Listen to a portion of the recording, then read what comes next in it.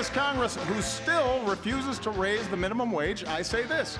If you truly believe you could work full time and support a family on less than $15,000 a year, try it. What we want are more people to enter into the workforce. We don't want to make it more expensive for, for employees, employers to be able to hire people.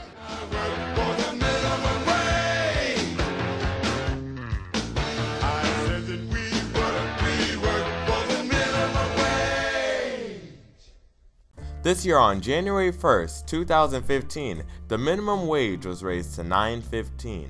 In 2016, it will be raised to 9.60. Then finally, 10.10 on January 1st, 2017. With the minimum wage debate won in Connecticut, we wanted to find the effects of the raise. We started by asking Governor Dannel Malloy why he wanted the raise in the first place. People need uh, uh, uh, need a raise. Uh, we need pressure on the lower level salaries to raise those salaries. They weren't uh, weren't being raised uh, without it, without some pressure. One question that is often brought up is if there are any benefits in this minimum wage raise. We reached out to Lieutenant Governor Wyman for answers. You know, it's about 70 to 90,000 people that will have to see their income going up. Uh, basically, what it can do is can pull people out of poverty. However, Representative Rutigliano thought differently about who was benefiting. The statistics that I'm familiar with are different than the the the other side statistics. We we believe that upwards of 80% of the people receiving the minimum wage are e under the age of 24 are are second jobbers, meaning they have another job, or they're second workers in the household where they live in a household. Predominantly, the minimum wage workers live in a household well above the poverty line. What is important to note is that the, nationally, the majority of minimum wage earners are under the age of 30, with 30.9% of them being between the ages of 16 and 19. Whether they are teenagers or not, a report by Connecticut Senator Chris Murphy showed that average minimum wage earners account for 35% of their family's income. One of the biggest arguments and fears about the raise in the minimum wage was that it would lead to job losses. What they'll do, as a matter of fact, is they'll hire less people. I've heard from many, many people, and a couple of towns too, who would hire summer help, teens for summer help and stuff like that. If we got to pay the minimum wage, instead of hiring five people for summer jobs, we'll only hire four. That's all we can afford to do. Just that lack of hiring, right? It's sort of reorganizing how your company works. so I'm not going to go in tomorrow and say, okay, you raise the minimum wage, you kids are out of a job, you got to go what happens is, is that you try to figure out how to combine jobs or find a different way. But the companies that can afford the raise in the minimum wage the most are the ones that can afford the technology to automate.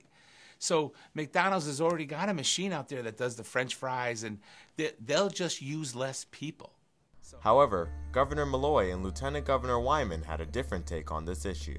Um, since we started to increase the minimum wage, we have not seen job losses. We have not saw, seen people uh, leaving their jobs or firing their jobs. Um, in fact, we, of course, now are seeing increases in jobs. No uh, uh, truly comparable data that indicates that uh, it leads to lessening of hours uh, or to layoffs. Um, in fact, uh, just the opposite. The facts tend to agree with Lieutenant Governor Nancy Wyman. Connecticut has not lost jobs and, in fact, added 1,200 new jobs in May 2015. However, Connecticut is performing at a sluggish rate compared to 38 other states within this nation. The sluggish job growth tends to support the Republican argument. Due to the raise in the minimum wage, it is conceivable that the rate of job growth has slowed, though jobs are still being created. The final clashing point in the minimum wage debate is whether the minimum wage will harm Connecticut's economy. Lieutenant Governor Nancy Wyman had this to say.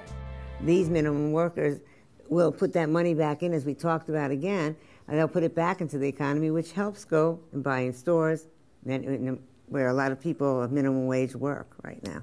According to Business Insider, Connecticut's economy was ranked seventh overall out of all 50 states. And in a report by JP Morgan Chase, Connecticut's GDP is scheduled to grow at a 3.2% increase from 2014 to 2015.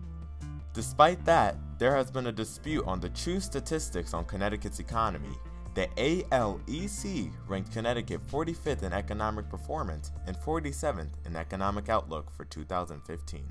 Representative Rutigliano had different thoughts on how Connecticut's economy would be affected, more specifically, the cost of goods.